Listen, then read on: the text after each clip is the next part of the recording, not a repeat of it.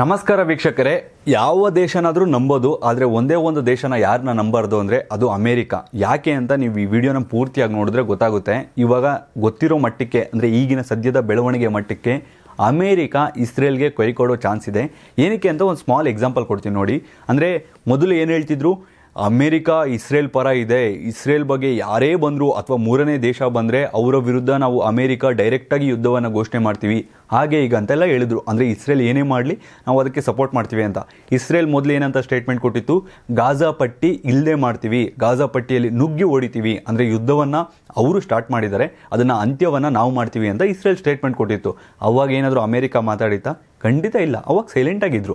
ಆಮೇಲೆ ಇಸ್ರೇಲು ಹೋಗ್ತಾ ಹೋಗ್ತಾ ಹೋಗ್ತಾ ಗಾಜಾ ಪಟ್ಟಿಯಲ್ಲಿ ಅವರ ಸಾಮಾನ್ಯ ಜನರಿಗೆ ತೊಂದರೆ ಆಗ್ತಿದೆ ಅಂತ ಗೊತ್ತಿದ್ರು ಕೂಡ ಅವ್ರ ಮೈನ್ ಟಾರ್ಗೆಟ್ ಏನಿತ್ತು? ಹಮಾಸ್ ಅವ್ರನ್ನ ಸಾಯಿಸಬೇಕು ಅಂತ.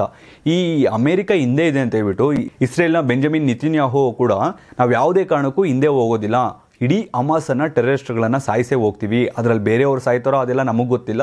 ನಾವು ಅಮಾಸ್ನಲ್ಲೇ ಟಾರ್ಗೆಟ್ ಮಾಡ್ತಿದ್ದೀವಿ ಅಂತ ಬಿಟ್ಟು ಇಲ್ಲದೆ ಇರೋ ದೇಶಗಳ ಮೇಲೆಲ್ಲ ಕಿರೀಕನ ತೆಗೆದುಕೊಂಡ್ರು. ಒಂದು ಶಿರಿಯಾ ಮೇಲೆ ಬಾಂಬನ್ನು ಹಾಕಿದ್ರು. ಶಿರಿಯಾ ಮೇಲೆ ಬಾಂಬ್ ಹಾಕಿದಾಗ ವಿಶ್ವಸಂಸ್ಥೆ ಕೇಳಿದವಾಗ ಏನು ಹೇಳಿದ್ರು?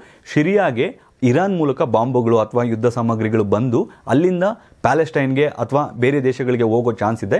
ಅದಕ್ಕೋಸ್ಕರ ನಾವು ಸೇಫರ್ ಸೋನು ಶಿರಿಯಾ ಒಂದು ಏರ್ಪೋರ್ಟಲ್ಲಿ ರನ್ವೇ ಮೇಲೆ ಬಾಂಬನ್ನು ಹಾಕಿದ್ರು, ಒಂದು ಎರಡು ಏರ್ಪೋರ್ಟ್ ಮೇಲೆ. ಈ ಕಡೆ ಲೆಬನಾನ್ ಮೇಲೆ ಕೂಡ ಯಾರಾದರೂ ಬರ್ತಾರೆ ಅಂತ ಹೇಳ್ಬಿಟ್ಟು ಮೊದಲೇ ಇಸ್ಬುಲ್ ಅವ್ರ ಮೇಲೆ ಬಾಂಬ್ಗಳನ್ನು ಹಾಕಿದ್ರು ಮೊದಲೇ. ಸೊ ಈಗ ಲಾಸ್ಟ್ಗೆ ಇರುವಂಥದ್ದು ಅವರು ಈಜಿಪ್ಟ್ ಜೊತೆ ಈಗ ಸದ್ಯಕ್ಕೆ ಚೆನ್ನಾಗಿದ್ದಾರೆ. ಸೊ ಗಾಜಾಪಟ್ಟಿಗೆ ಈಗ ಇವತ್ತು ಮಾರ್ನಿಂಗು ಈಜಿಪ್ಟಿಂದ ಊಟ ಮತ್ತು ಮೆಡಿಸಿನ್ನು, ನೀರು ಎಲ್ಲ ಕೂಡ ಬಂದಿದೆ. ಈಗ ಸದ್ಯಕ್ಕೆ ಅದು ಎಷ್ಟು ಜನಕ್ಕೆ ತಲುಪಿದೆಯೋ ಏನೋ ಗೊತ್ತಿಲ್ಲ. ಈಗ ಅಮೆರಿಕ ನೋಡೋಣ. ಫಸ್ಟ್ ಏನು ಹೇಳಿ ಹೇಳಿತ್ತು? ಅಮೇರಿಕ ನಾವು ಜೊತೆಲಿದ್ದೀವಿ ನೀವು ಎಷ್ಟೇ ಫಂಡ್ ಕೇಳಿ ನಾವು ಕೊಡ್ತೀವಿ, ನೀವು ಎಷ್ಟೇ ಯುದ್ಧ ಸಾಮಗ್ರಿಗಳನ್ನು ಕೇಳಿ ನಾವು ಕೊಡ್ತೀವಿ, ಹಾಗೆ ಹೀಗೆ ಅಂತ ಹೇಳಿತ್ತು. ಜೋ ಬಿಡನ್ ಅವರು ಆ ರೀತಿ ಹೇಳಿದರು. ಆದರೆ ಈಗ ಏನು ಹೇಳ್ತಿದ್ದಾರೆ ಯಾವುದೇ ಕಾರಣಕ್ಕೂ ಇಸ್ರೇಲ್, ಅಂದರೆ ವಾರ್ನ್ ಮಾಡಿದ್ದಾರೆ. ಇಸ್ರೇಲ್ಗೆ ಅಮೇರಿಕ ವಾರ್ನ್ ಕೊಟ್ಟಿದ್ದಾರೆ. ಏನಂತ ಅಂದರೆ, ನೋಡಿ ನೀವು ಯಾವುದೇ ಕಾರಣಕ್ಕೂ ಗಾಜಾ ಪಟ್ಟಿ, ಗಾಜಾ ಸ್ಟ್ರಿಪ್ಪನ್ನು ನೀವು ಆಕ್ಯುಪೈ ಮಾಡ್ಕೊಳೋಂಗಿಲ್ಲ. ಅಂದರೆ ಅದರೊಳಗಡೆ ಎಂಟ್ರಿ ಕೊಡೋಂಗಿಲ್ಲ. ಅಲ್ಲಿನ ಸಾಮಾನ್ಯ ಜನರಿಗೆ ತೊಂದರೆ ಆಗುತ್ತೆ. ಸೊ ನೀವು ಅಮಾಸ್ ಅವರ ವಿರುದ್ಧ ಹೋರಾಡಿ, ಅದರ ಪರ ನಾವಿರ್ತೀವಿ. ಅಂದರೆ ಫಸ್ಟ್ ಗೊತ್ತಿರಲಿಲ್ವ ಇವ್ರಿಗೆ? ಹಮಾಸ್ ಅವರ ವಿರುದ್ಧ ಹೋರಾಡುವಾಗ ಗಾಜಾ ಪಟ್ಟಿಯಲ್ಲಿರುವಂಥ ಸಾಮಾನ್ಯ ಜನರಿಗೂ ತೊಂದರೆ ಆಗೇ ಆಗುತ್ತೆ. ಮತ್ತು ಅವ್ರು ಫಸ್ಟ್ ಸ್ಟೇಟ್ಮೆಂಟ್ಗಳು ಕೊಡೋವಾಗೆಲ್ಲ ಈ ಅಮೇರಿಕ ಗೊತ್ತಿರಲಿಲ್ಲ. ಇವಾಗ ಈ ರೀತಿ ಯಾಕೆ ಹೇಳ್ತಿದ್ದಾರೆ ಅಂತ ಕೂಡ ಹೇಳ್ತೀನಿ ನೋಡಿ. ಅಂದರೆ ಇವಾಗ ಏನು ಹೇಳ್ತಿದ್ದಾರೆ? ನೀವು ಯಾವುದೇ ಕಾರಣಕ್ಕೂ ಗಾಜಾ ಪಟ್ಟಿ ವಿರುದ್ಧವಾಗಿ ಹೋಗಬೇಡಿ. ಅಂದರೆ ಅದನ್ನು ಆಕ್ಯುಪೈ ಮಾಡ್ಕೋಬೇಡಿ. ಒಳಗಡೆ ಎಂಟ್ರಿ ಕೊಡಬೇಡಿ ಅಂತ. ಈವನ್ ಇಸ್ರೇಲ್ಗೂ ಗಾಜಾ ಪಟ್ಟಿ ಒಳಗಡೆ ಹೋಗೋದು ಅಷ್ಟು ಸುಲಭ ಅಲ್ಲ. ನಾನು ಇದನ್ನು ಯಾಕೆ ಅಂತ ಲಾಸ್ಟಲ್ಲಿ ಹೇಳ್ತೀನಿ ನೋಡಿ. ಸೊ ಅಮೇರಿಕ ಗಾಜಾ ಪಟ್ಟಿ ಒಳಗಡೆ ಯಾಕೆ ಹೋಗಬೇಡಿ ಅಂತ ಹೇಳ್ತಿದ್ದಾರೆ ಅಂದರೆ ಅಂತಾರಾಷ್ಟ್ರೀಯ ಮಟ್ಟದಲ್ಲಿ ಪುತಿನ್ ಅವರು ಅಷ್ಟು ಪ್ಲೆಜರನ್ನು ಬಿಲ್ಡ್ ಮಾಡಿಟ್ಟಿದ್ದಾರೆ. ಇವಾಗ ಏನಾದರೂ ಅವ್ರು ಗಾಜಾ ಪಟ್ಟಿ ಒಳಗಡೆ ಹೋದ್ರು ಅಂದರೆ ಅಫಿಷಿಯಲಿ ಅದು ಏನಾದರೂ ಆಗೋಗ್ಲಿ ಅಂತ ಏರ್ಕ್ರಾಫ್ಟ್ ಕ್ಯಾರಿಯರ್ಗಳು ಮೆಡಿಟೇರಿಯನ್ ಸಿಯಲ್ಲಿ ಇರ್ಬೋದು ಯು ಕೆದು ಅಮೇರಿಕಾದು ಎಲ್ಲರದು ಇರ್ಬೋದು. ಆದರೆ ಅಫಿಷಿಯಲ್ ಆಗಿ ಇಸ್ಬುಲ್ ಅವರು ಎಂಟ್ರಿ ಕೊಡ್ತಾರೆ. ಇಸ್ಬುಲ್ ಅವ್ರ ಜೊತೆ ಇರಾನ್ ಅವರು ಎಂಟ್ರಿ ಕೊಡ್ತಾರೆ. ಏನಕ್ಕಂದರೆ ಗಾಜಾಪಟ್ಟಿ ಒಳಗಡೆ ಹೋದರೆ ಇನ್ನೂ ಸಾವು ನೋವುಗಳು ಜಾಸ್ತಿ ಆಗುತ್ತೆ.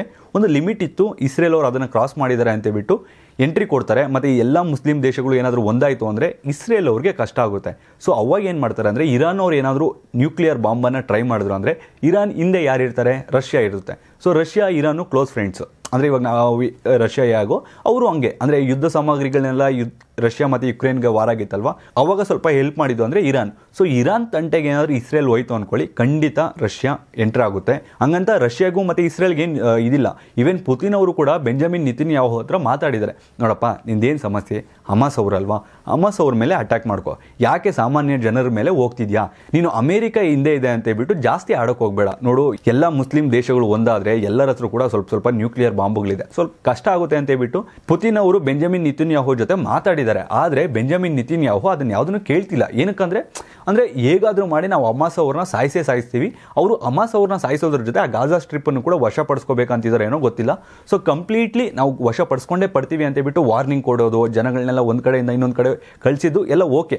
ಈಗ ಸದ್ಯಕ್ಕೆ ಅಮೇರಿಕ ಯಾಕೆ ಉಲ್ಟಾ ಹೊಡಿತಿದೆ ಅಂದರೆ, ಪುತಿನ್ ಅವರು ವಾರ್ನಿಂಗ್ ಕೊಟ್ಟರು ನೀವೇನಾದರೂ ಗಾಜಾ ಸ್ಟ್ರಿಪ್ ಒಳಗಡೆ ಎಂಟ್ರಿ ಕೊಟ್ಟರೆ ನಾವು, ಅಂದರೆ ಬೇರೆ ಇಸ್ಲಾಮಿಕ್ ಕಂಟ್ರೀಸ್ ಎಲ್ಲ ಏನಾದರೂ ಅಟ್ಯಾಕ್ ಮಾಡಿದ್ದಾರೆ ಅಂದರೆ, ಇಸ್ರೇಲ್ಗೆ ಕಷ್ಟ ಆಗುತ್ತೆ ಅಂತ. ಸೊ ಬೇರೆ ದೇಶಗಳೆಲ್ಲ ಅಟ್ಯಾಕ್ ಮಾಡಿದ್ರೆ ಅಮೇರಿಕ ಕೈ ಕೊಟ್ಟು ಓಡೋಗುತ್ತೆ. ಏನಕ್ಕೆ ಅಂತ ಹೇಳ್ತೀನಿ ನೋಡಿ. ಅಮೇರಿಕಾದಲ್ಲಿ ನೆಕ್ಸ್ಟ್ ಇಯರ್ ಎಲೆಕ್ಷನ್ ಇದೆ. ಅರಬ್ ಕಂಟ್ರೀಸ್ ಎಲ್ಲ ಸೇರಿಕೊಂಡು ರಷ್ಯಾನೂ ಅದ್ರ ಜೊತೆ, ಅಂದರೆ ಅರಬ್ ಕಂಟ್ರೀಸ್ ಹಿಂದೆ ಯಾರಿರ್ತಾರೆ ರಷ್ಯಾ ಇರುತ್ತೆ. ಸೊ ಎಲ್ಲ ಸೇರ್ಕೊಂಡು ಏನಾದರೂ ನ್ಯೂಕ್ಲಿಯರ್ ಬಾಂಬ್ ಅಂದರೆ ಮೂರನೇ ವಿಶ್ವ ಯುದ್ಧ ಏನಾದರೂ ಶುರು ಮಾಡಿದ್ರು ಅಂದರೆ ಅಮೇರಿಕಾಗೆ ತುಂಬ ದೊಡ್ಡ ಪೆಟ್ಟು ಬೀಳುತ್ತೆ. ಏನಕ್ಕಂದರೆ ಅಮೇರಿಕ ಪರ ಎಷ್ಟೇ ನ್ಯಾಟೋ ದೇಶಗಳಿರ್ಬೋದು. ಇವಾಗ ಯುಕ್ರೇನ್ ಮತ್ತು ರಷ್ಯಾ ವಿಚಾರದಲ್ಲಿ ನೋಡಿರ್ಬೋದು. ಎಲ್ಲ ನ್ಯಾಟೋ ದೇಶಗಳು ಸೇರಿಕೊಂಡು ಯುಕ್ರೇನ್ಗೆ ಸಪೋರ್ಟ್ ಮಾಡೋದು. ರಷ್ಯಾದು ಏನು ಮಾಡ್ಕೊಂಡ್ರು? ಏನು ಮಾಡ್ಕೊಳಕ್ಕಾಗಿಲ್ಲ. ಇಲ್ಲ ರಷ್ಯಾನ. ಅದೇ ರೀತಿ ರಷ್ಯಾ ಅವರು ಹೇಳ್ತಿರೋದು, ನೀವೇನಾದರೂ ಇದೇ ರೀತಿ ಅಮೆರಿಕ, ಮೆಡಿಟೇರಿಯನ್ ಸಿಎಗಳಲ್ಲಿ ಏರ್ಕ್ರಾಫ್ಟ್ ಕ್ಯಾರಿಯರ್ಗಳನ್ನ ಯಾರ್ದು ಪರ್ಮಿಷನ್ ಇಲ್ಲದೆ ತೊಗೊಬಂದು ನಿಲ್ಸೋದು, ಬೇರೆ ಯಾವ ದೇಶಗಳಿಗೂ ನೀವೇ ಡಾನ್ ಥರ ಆಡೋದು, ಆ ರೀತಿ ಏನಾದರೂ ಮಾಡ್ತಾ ಇದ್ರೆ ಮಿಡಿಲ್ ಈಸ್ಟಲ್ಲಿ ಹಿಂದೆ ಯಾವತ್ತೂ ನೋಡಿರಲ್ಲ, ಆ ರೀತಿ ಯುದ್ಧ ಆಗುತ್ತೆ ಅಂತ ಹೇಳ್ಬಿಟ್ಟು ಪುತಿನ್ನು ಅಮೆರಿಕ ವಾರ್ನಿಂಗ್ ಕೊಟ್ಟಿದ್ದಾರೆ. ಮತ್ತೆ ಇನ್ನೊಂದು ಅರಬ್ ದೇಶಗಳೆಲ್ಲ ಕೂಡ ಅರಬ್ ದೇಶಗಳ ಹತ್ರ, ಅಂದರೆ ಸೂಪರ್ ಪವರ್ ಕಂಟ್ರೀಸ್ ಅಲ್ಲ ಅರಬ್ ದೇಶಗಳು ಚಿಕ್ಕ ಚಿಕ್ಕ ದೇಶಗಳು. ಅದರಲ್ಲಿ ಸ್ವಲ್ಪ ಸ್ಟ್ರಾಂಗ್ ಅಂದರೆ ಸೌದಿ ಮತ್ತು ಇರಾನ್ ಇನ್ನೂ ಸ್ವಲ್ಪ ಸ್ವಲ್ಪ ಇದ್ದಾವೆ ಸೊ ಎಲ್ಲರಿಗೂ ಒಂದು ಮೈನ್ ಲೀಡರ್ ಅಂತ ಬೇಕಲ್ಲ? ಸೊ ಎಲ್ಲ ಹೋಗಿ ರಷ್ಯಾ ಹತ್ರ ಹೋಗಿದ್ದಾರೆ. ರಷ್ಯಾನು ಒಂದು ಅಫಿಷಿಯಲ್ ವಾರ್ನಿಂಗ್ ಕೊಟ್ಟಿದೆ. ನೋಡಪ್ಪ, ಅಮೆರಿಕ, ನೀನು ಇದು, ಈ ಥರ ರೊಚ್ಚಿಗೆ ಬಿಡಿಸ್ಬೇಡ ಯಾರನ್ನೇ ಆಗಲಿ. ಯುಕ್ರೇನ್ಗೆ ರೊಚ್ಚಿಗೆ ಬಿಡಿಸಿ ನೀನು ಇವಾಗ ಯುಕ್ರೇನ್ಗೆ ಏನು ಗತಿ ಬಂದಿದೆ ಅಂತ ಗೊತ್ತು. ಇಸ್ರೇಲ್ನು ನೀನು ಇದೇ ರೀತಿ ಮಾಡೋಕೆ ಹೋಗ್ತಾ ಇದೆಯಾ? ಸಾಕು ನಿಲ್ಲಿಸು ಅಂತ ಹೇಳ್ಬಿಟ್ಟು ವಾರ್ನಿಂಗನ್ನು ಕೊಟ್ಟಿತ್ತು. ಮತ್ತು ಇನ್ನೊಂದು ಇರಾನ್ ಕೂಡ ವಾರ್ನಿಂಗ್ ಕೊಟ್ಟಿದೆ. ಏನಂದರೆ ನೀವೇನಾದರೂ ಮಾಡಿ, ಅಂದರೆ ಗಾಜಾಪಟ್ಟಿ ಒಳಗಡೆ ಎಂಟ್ರಿ ಕೊಡಿ. ಇರಾನು ಆ ಕಡೆ ಇಸ್ರೇಲ್ ಅವ್ರ ಮೇಲೆ ಎಂಟ್ ಬಾಂಬ್ಗಳಾಗ್ತಾರೋ ಅಥವಾ ಅಲ್ಲಿ ಏರ್ಕ್ರಾಫ್ಟ್ ಕ್ಯಾರಿಯರ್ ನಿಂತ್ಕೊಂಡಿರುತ್ತಲ್ವಾ ಮೆಡಿಟೇರಿಯನ್ ಸಿಯಲ್ಲಿ, ಅಲ್ಲಿ ಬಾಂಬ್ಗಳಾಗ್ತಾರೋ ಗೊತ್ತಿಲ್ಲ. ಎಲ್ಲ ಅರಬ್ ದೇಶಗಳೇನಾದರೂ ಸೇರ್ಕೊಂಡ್ವು ಅಂದರೆ America U K aircraft carrier ಏನಕ್ಕೂ ಬರಲ್ಲ. ಅದಕ್ಕೋಸ್ಕರನೇ ಅಮೇರಿಕ ಸೈಲೆಂಟಾಗಿ ಯೂಟರ್ ನೋಡ್ಕೊಳ್ತಾ ಇದೆ. ಏನಕ್ಕೆ ಅಂದರೆ, ನೋಡೋ ಬೆಂಜಮಿನ್ ನಿತಿನ್ಯಾಹೋ, ನೀನು ಗಾಜಾಪಟ್ಟಿ ಒಳಗಡೆ ಹೋಗಬೇಡ. ನೀನು ಹಮಾಸ್ ಅವ್ರನ್ನ ಸಾಯಿಸ್ಕೊ. ಸೊ ಫಸ್ಟ್ ಹೇಳಿದ್ದೇನವರು ಹಮಾಸ್ ಅವ್ರನ್ನ ಸಾಯಿಸ್ತೀವಿ ಗಾಜಾಪಟ್ಟಿ ಅವ್ರನ್ನ ಸಾಯಿಸ್ತೀವಿ ಅಂದರೂ ಕೂಡ ಅಮೆರಿಕ ಏನು ಮಾತಾಡಿರಲಿಲ್ಲ ಈಗ ಇವೆಲ್ಲ ಡೆವಲಪ್ಮೆಂಟ್ ಆದಮೇಲೆ ಏನಾಯಿತು? ಆಯ್ತಪ್ಪ, ಹೋಗ್ಬೇಡ ನೀನು ಗಾಜಾಪಟ್ಟಿ ಒಳಗಡೆ ಅಂತ ವಾರ್ನಿಂಗ್ ಕೊಟ್ಟಿದ್ದಾರೆ. ಜೋ ಬಿಡನ್ನು ನಿ ಬೆಂಜಮಿನ್ ನಿತಿನ್ಯಾಹುಗೆ ಮತ್ತು ಇಸ್ರೇಲ್ಗೆ ಯಾಕೆ ಒಳಗಡೆ ಹೋಗೋಕ್ಕಾಗಲ್ಲ ಅಂದರೆ ಈ ಎಲ್ಲ ದೇಶಗಳೇನಾದರೂ ಒಂದಾಯಿತು, ಅದರಲ್ಲಿ ರಷ್ಯಾ ಸಪೋರ್ಟ್ ಮಾಡೇ ಮಾಡುತ್ತೆ, ಇರಾನ್ಗೆ ಸಪೋರ್ಟ್ ಮಾಡುತ್ತೆ. ಇಸ್ರೇಲ ಅಥವಾ ಇರಾನ ಅಂತ ಬಂದರೆ ರಷ್ಯಾ ಫಸ್ಟ್ ಪಿಕ್ ಮಾಡುವಂಥದ್ದು ಇರಾನ್. ಯಾಕಂದರೆ ಅವ್ರು ತುಂಬ ರಿಲೇಷನ್ಸ್ ಇದೆ. ಮತ್ತೆ ಇನ್ನೊಂದು ಅರಬ್ ದೇಶಗಳೆಲ್ಲ ಇವಾಗ ಯಾರ ಹತ್ರ ಹೋಗಿದಾವೆ? ಈ ರಷ್ಯಾದ ಹತ್ರನೇ. ಅರಬ್ ದೇಶಗಳೆಲ್ಲ ಈ ಅಮೆರಿಕ ಹತ್ರ ಹೋಗೋಕ್ಕಾಗಲ್ಲ. ಇಸ್ರೇಲ್ ಹಿಂದೆ ಅಮೆರಿಕ ಇದೆ. ಸೊ ಅಮೆರಿಕ ಆಪೋಸಿಟ್ ಯಾರು? ರಷ್ಯಾ. ಸೊ ಅದಕ್ಕೋಸ್ಕರ ಅರಬ್ ದೇಶಗಳೆಲ್ಲ ಸ್ವಲ್ಪ ಚೆನ್ನಾಗಿತ್ತು ರಷ್ಯಾ ಜೊತೆ. ಅದಕ್ಕೋಸ್ಕರ ಹೋಗಿದ್ದಾರೆ. ಸೊ ಈ ಎಲ್ಲ ಬೆಳವಣಿಗೆಗಳಿಂದ, ಮತ್ತೆ ಇನ್ನೊಂದೇನಾದರೂ ಓಕೆ ಆಯಿತು, ಅರಬ್ ದೇಶಗಳು ಬರಲಿ, ರಷ್ಯಾ ಬರಲಿ, ನಾವು ಯುದ್ಧವನ್ನು ಮಾಡ್ತೀವಿ. ಸ್ಟ್ರಾಂಗ್ ಇದೆ ಅಮೆರಿಕ, ಇಲ್ಲ ಅಂತ ಹೇಳಿಲ್ಲ ಈಗಲೂ ಕೂಡ ಆರ್ಮಿಯಲ್ಲಿ ನಂಬರ್ ಒನ್ ಸ್ಥಾನದಲ್ಲೇ ಇದೆ ಅಮೆರಿಕ. ಆದರೆ ಸಮಸ್ಯೆ ಎಲ್ಲಿ ಎದುರಾಗುತ್ತೆ ಅಂದರೆ ಇವಾಗ ಅವ್ರ ಎಕನಾಮಿ ತುಂಬ ಚೆನ್ನಾಗಿದೆ. ಅವ್ರು ಏನಾದರೂ ಈ ಇಡೀ ಮೂರನೇ ವಿಶ್ವಯುದ್ಧ ಏನಾದರೂ ಮಾಡಿದ್ದಾರೆ ಅಂದರೆ ನೆಕ್ಸ್ಟ್ ಟೈಮ್ ಅವ್ರ ಗೌರ್ಮೆಂಟ್ ಬರಬೇಕಲ್ವಾ? ಅವ್ರ government ಬಿದೋಗುತ್ತೆ. Next time next year election ಇರೋದ್ರಿಂದ. ಸೊ ಅದಕ್ಕೋಸ್ಕರ ಏನು ಮಾಡ್ಕೊಳ್ತಾರೆ ಅಂದರೆ ಜೋ ಬಿಡನು ಮತ್ತು ಅವ್ರ ಪಾರ್ಟಿಯವರೆಲ್ಲ ಡಿಸ್ಕಸ್ ಮಾಡಿ ಸೈಲೆಂಟಾಗಿ ಎಸ್ಕೇಪ್ ಆಗಿಬಿಡೋಣ. ನಮ್ಮ ಲೋಕಲ್ ಲ್ಯಾಂಗ್ವೇಜಲ್ಲಿ ಹೇಳ್ಬೇಕಂದ್ರೆ ಇದಪ್ಪ ಒಂದು ಟೀ ಕುಡ್ಕೊ ಬರ್ತೀನಿ ಅಥವಾ ಊಟ ಮಾಡ್ಕೊ ಬರ್ತೀನಿ ಅಂತ ಹೇಳ್ಬಿಟ್ಟು ಸೈಲೆಂಟಾಗಿ ಎಸ್ಕೇಪ್ ಆಗೋಗ್ತಾರೆ ಮತ್ತೆ ಇವರೆಲ್ಲ ಸೇರಿಕೊಂಡು ಇಸ್ರೇಲ್ ಮೇಲೆ ಅಟ್ಯಾಕ್ ಮಾಡಿದ್ಮೇಲೆ ಲಾಸ್ಟಲ್ಲಿ ಬರ್ತಾರೆ. ಅಯ್ಯೋ, ಈ ಥರ ಆಗೋಯ್ತಾ? ಅಯ್ಯೋ ನಾನು ಅವ್ರ ಮೇಲೆ ಸೇಟ್ ತೀರಿಸ್ಕೊಳ್ತೀನಿ. ಈಗ ಸದ್ಯಕ್ಕೆ ಬೇಡ. ಈಗ ಸದ್ಯಕ್ಕೆ ನಿನ್ಗೆ ಹೊಡೆದ್ಬಿಟ್ಟಿದ್ದಾರಲ್ಲ ಸ್ವಲ್ಪ ಸಮಾಧಾನ ಮಾಡ್ಕೋ. ಈ ರೀತಿ ಹೇಳ್ಬಿಟ್ಟು ಹೋಗ್ತಾರೆ ಅಷ್ಟೇ. ಅಮೇರಿಕಾ, ಅಂದರೆ ಇಡೀ ವಿಶ್ವದಲ್ಲಿ ಯಾವುದೇ ಯುದ್ಧ ಆಗಲಿ ನಿಜವಾಗ್ಲೂ ಹೇಳ್ಬೇಕಂದ್ರೆ ಆ ಟೆರರಿಸ್ಟ್ಗಳನ್ನು ಬೆಳೆಸೋದಕ್ಕೆ ಸ್ಟಾರ್ಟ್ ಮಾಡಿದೆ ಅದೇ ಅಮೇರಿಕ. ಇಡೀ ವಿಶ್ವದಲ್ಲಿ ಯಾವುದೇ ಯುದ್ಧ ಆದರೂ ಕೂಡ ಅದಕ್ಕೆ ಏನಾದರೂ ಲಿಂಕ್ ಇರುತ್ತೆ ಅಂದರೆ ಈ ತಂದಿಡೋದು ಅಂದರೆ ಅದೇ ಅಮೇರಿಕ. ಹಂಗಂತ ನಾನು ಅಮೇರಿಕಾನ ನಮ್ಮ ದೇಶದ ಜೊತೆ ಚೆನ್ನಾಗಿಲ್ಲ ಅಂತಲ್ಲ, ಅಮೇರಿಕ ನಮ್ಮ ದೇಶದ ಜೊತೆನೂ ಚೆನ್ನಾಗಿದೆ. ಮತ್ತು ಈ ಅಮೇರಿಕಾಗೂ ಕೂಡ ನಮ್ಮ ದೇಶ, ಭಾರತ ಕೂಡ ಒಂದು ಸಲ ಬೆವರಿಳಿಸಿತ್ತು ಅದನ್ನು ನಾನು ನೆಕ್ಸ್ಟ್ ವಿಡಿಯೋ ಮಾಡ್ತೀನಿ. ಒಟ್ಟಾರೆಯಾಗಿ ಅಮೇರಿಕ ನಂಬಿಕೊಂಡು ಇಸ್ರೇಲು ಜಾಸ್ತಿ ಮುಂದೆ ಹೋಗ್ಬಿಟ್ಟಿದೆ. ಸ್ವಲ್ಪ ಹಿಂದೆ ಬರಬೇಕಾಗಿದೆ. ಮತ್ತು ಇಸ್ರೇಲ್ ಅವರು ಗಾಜಾ ಪಟ್ಟಿ ಒಳಗಡೆ ಹೋದರೆ ಟೂ ಪಾಯಿಂಟ್ ಜೀರೋ ಅಂದರೆ ಇಷ್ಟು ದಿನ ನಡೆದಿದ್ದು ಒಂದು ಯುದ್ಧ ಆದರೆ ಇನ್ಮೇಲೆ ಇನ್ನೊಂದು ಯುದ್ಧ ನಡೆಯುತ್ತೆ. ಸೊ ಈಗ ಸದ್ಯಕ್ಕೆ ನನಗೆ ತಿಳಿದ ಮಟ್ಟಕ್ಕೆ ಹೇಳೋದಾದರೆ ಗಾಜಾಪಟ್ಟಿ ಒಳಗಡೆಯಿಂದ ಅಂದರೆ ಆಚೆನೆ ಇದ್ದು ಒಂದು ಅಮೇರಿಕ ಅಥವಾ ಬೇರೆ ವಿಶ್ವಸಂಸ್ಥೆಯಲ್ಲೆಲ್ಲ ಒಂದು ಮೀಟಿಂಗನ್ನು ಮಾಡಿ ಏನಂದರೆ ಟೂ ಸ್ಟೇಟ್ ಪಾಲಿಸಿನ ವಿಶ್ವಸಂಸ್ಥೆ ಆಗಲೇ ಸಜೆಸ್ಟ್ ಮಾಡಿತ್ತು. ಸೊ ಪ್ಯಾಲೆಸ್ಟೈನ್ನ ಸಪ್ರೇಟ್ ಕಂಟ್ರಿ ಅಂತ ಅನೌನ್ಸ್ ಮಾಡ್ತೀವಿ. ಮತ್ತು ಅಮಾಸ್ ಅವ್ರು ಏನಿದಾರೋ ಅವ್ರನ್ನೆಲ್ಲ ಇಟ್ಕೊಡಿ ಅಥವಾ ಏನಾದರೂ ಅಫಿಷಿಯಲ್ ಆಗಿ ಎರಡು ಸ್ಟೇಟ್ಗಳನ್ನು ಇದು ಮಾಡಿಕೊಂಡು ಇಬ್ಬರು ಫ್ರೆಂಡ್ಸ್ ಆದರೆ ಅಥವಾ ಇಬ್ಬರು ಮುಂದಿನ ದಿನಗಳಲ್ಲಿ ಇದಾದರೆ ಓಕೆ ಆದರೆ ಅದು ಕೂಡ ಒಂದು ಸಮಸ್ಯೆ ಎದುರಾಗುತ್ತೆ. ಏನಂದರೆ ಅವಾಗ ಅಮಾಸ್ ಅವರು ಇನ್ನೂ ಸ್ಟ್ರಾಂಗ್ ಆಗಿ ಹೋಗ್ತಾರೆ. ಇವಾಗ ಪ್ಯಾಲೆಸ್ಟೈನ್ ಸಪೋರ್ಟ್ ತೊಗೊಂಡು ಮುಂದಿನ ದಿನಗಳಲ್ಲೂ ಕೂಡ ಇಸ್ರೇಲ್ ಅವ್ರಿಗೆ ಪ್ರಾಬ್ಲಮ್ ಇದ್ದೇ ಇರುತ್ತೆ. ಅದಕ್ಕೋಸ್ಕರ ಏನು ಮಾಡ್ತಿದ್ರು ಅಂದರೆ ಇವಾಗಲೇ ಅಮಾಸ್ ಅವ್ರನ್ನ ಕಿತ್ತು ಬಿಸಾಕಬೇಕು ಅಂತ ಹೇಳ್ಬಿಟ್ಟು ಇಸ್ರೇಲ್ ಟ್ರೈ ಮಾಡ್ತಿದೆ. ಮತ್ತು ಇನ್ನೊಂದು ಅಮೆರಿಕದ ಡಬಲ್ ಸ್ಟ್ಯಾಂಡರ್ಡ್ ಇನ್ನೊಂದು ಎಕ್ಸಾಂಪಲ್ ಕೂಡ ಹೇಳ್ತೀನಿ ನೋಡಿ. ಇಷ್ಟು ದಿನ ಏನಂತ ಹೇಳ್ತಿದ್ರು ಪ್ಯಾಲೆಸ್ಟೈನ್ ಕಡೆ ಸಪೋರ್ಟ್ ಮಾಡಿರಲಿಲ್ಲ. ಇಸ್ರೇಲ್ ವಿರುದ್ಧ ಯಾರೇ ಬಂದರೂ ಕೂಡ ನಾವು ಅವ್ರ ವಿರುದ್ಧ ನಿಂತ್ಕೊಳ್ತೀವಿ ಹಾಗೆ ಹೇಗೆ ಅಂತ ಹೇಳ್ತಿದ್ರು. ಈಗ ಏನು ಹೇಳಿದಾರೆ ಅಂದರೆ ಪ್ಯಾಲೆಸ್ಟೈನ್, ಅಂದರೆ ಗಾಜಾ ಸ್ಟ್ರಿಪ್ ಅನ್ನೋದು ಅಮಾಸ್ಗೂ ಗಾಜಾ ಸ್ಟ್ರಿಪ್ಗೂ ಸಂಬಂಧ ಇಲ್ಲ. ಗಾಜಾ ಸ್ಟ್ರಿಪ್ಪಲ್ಲಿ ಏನಾದರೂ ಹೇಳಬೇಕು ಅಥವಾ ಅದು ಯಾರಿಗಾದ್ರೂ ಸೇರುತ್ತೆ ಅಂದರೆ ಅದು ಖಂಡಿತವಾಗ್ಲೂ ಪ್ಯಾಲೆಸ್ಟೈನ್ಗೆ, ಪ್ಯಾಲೆಸ್ಟೈನ್ನ ಎಡ್ಡು ಇದ್ರ ಬಗ್ಗೆ ಆನ್ಸರನ್ನು ಕೊಡ್ತಾರೆ ಅಂತ. ಇಷ್ಟು ದಿನ ಬರೀ ಇಸ್ರೇಲ್ ಬಗ್ಗೆ ಮಾತ್ರ ಮಾತಾಡ್ತಾ ಇದ್ರು. ಈಗ ಪ್ಯಾಲೆಸ್ಟೈನ್ ಪರ ಕೂಡ ಮಾತಾಡ್ತಾ ಇದ್ದಾರೆ. ಇದನ್ನೇ ಅಮೆರಿಕದ ಡಬಲ್ ಸ್ಟ್ಯಾಂಡರ್ಡ್ ಅಂತಾರೆ.